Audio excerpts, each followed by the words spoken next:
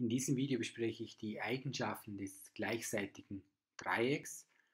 Wenn wir uns die Skizze anschauen und auch den Namen berücksichtigen, sehen wir, dass alle drei Seiten gleich lang sind beim gleichseitigen Dreieck.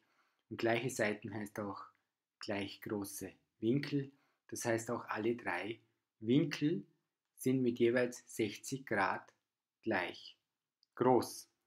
Die Höhe HA teilt das gleichseitige Dreieck in zwei rechtwinklige, kongruente Dreiecke.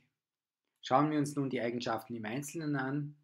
Bei einem gleichseitigen Dreieck sind alle drei Seiten gleich lang.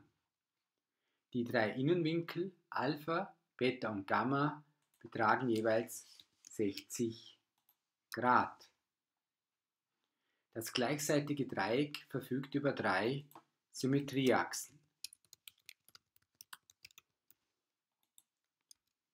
Die vier merkwürdigen Punkte, Höhenschnittpunkt, Inkreismittelpunkt, Umkreismittelpunkt und Schwerpunkt, fallen alle im Mittelpunkt zusammen, also liegen alle auf einem Punkt.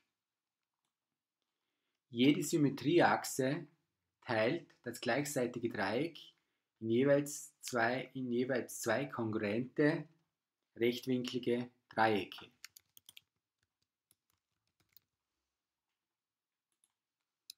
Der Mittelpunkt des gleichseitigen Dreiecks teilt die ihn bildenden Strecken im Verhältnis 2 zu 1.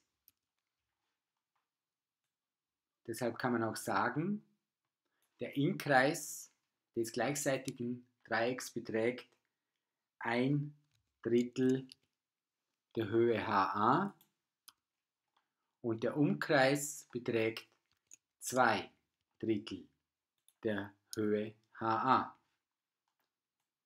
Der Umfang wiederum wird berechnet, indem wir hier alle drei Seiten addieren und da alle drei Seiten gleich lang sind, kann man sie zusammenfassen zu der Formel 3 mal a.